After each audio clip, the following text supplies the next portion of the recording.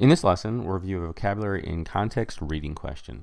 This is from one of the passages, and even if you haven't read it, you could still answer this question.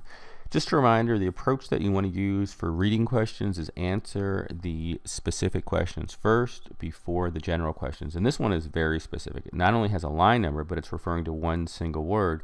And the reason you employ this strategy is by answering the more specific questions and then gradually moving toward the more general ones, you'll continue to read the passage and you'll expand your comprehension and then by the end you'll have a much better idea and you can answer the general questions.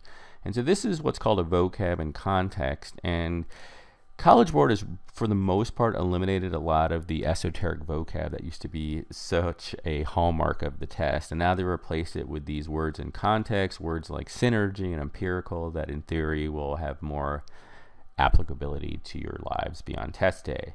But one strategy I just want to remind you of with vocab, it's not that vocab is eliminated entirely.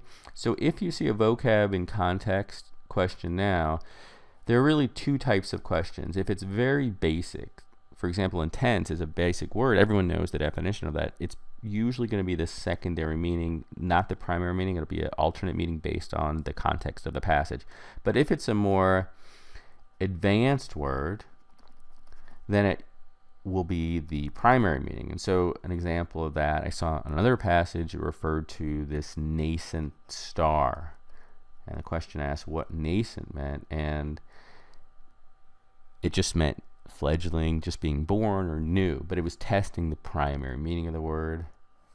But you're not going to see words like quixotic and, and lugubrious on the test anymore. All right, so let's do question in line 38. What does intense mean? So we're just going to read this short paragraph. The coming decades will likely see more intense clustering of jobs, innovation, and productivity in a smaller number of bigger cities and city regions. Just from reading this sentence, we could glean the answer here.